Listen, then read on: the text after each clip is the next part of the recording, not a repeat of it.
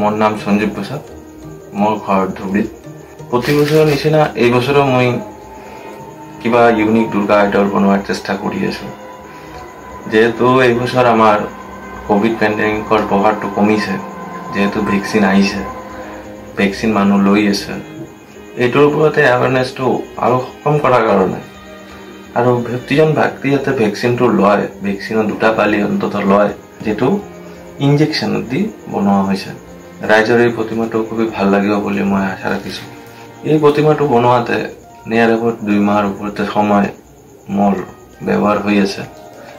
এতিয়ালৈকে প্ৰায় তিনি হাজাৰ ইনজেকশ্যন আৰু পাঁচ হাজাৰমান নিডেল যিটো আমি চুই বুলি কওঁ এই চুইটো ইউজ হৈ আছে। আৰু এই প্ৰতিমাখন বিবেকানন্দ ক্লাবত যিহেতু থাকিব পূজা মণ্ডপত থাকিব যিবোৰ মানুহে পূজা দিব আহিব মণ্ডপত তিনিদিন চাৰিদিন এটলিষ্ট এইটো মূৰত আহিব যে মই ভেকচিনটো লৈছোঁ নে নাই। ভেকচিনটো যাতে লৈছোঁ ফাৰ্ষ্ট ড'জটো লৈছোঁ ছেকেণ্ড ড'জটো লোৱা নাই। যাতে ল'ব পাৰে এইটো মনত আহিব এটলিষ্ট এই মেছেজটো ৰাইজৰ কাৰণে দিয়াৰ কাৰণে মই এই বছৰ এই দুৰ্গা প্ৰতিমাটো বনোৱাৰ চেষ্টা কৰি আছিলোঁ। আশা ৰাখিছোঁ এইটো প্ৰতিমা চবৰে ভাল লাগিব।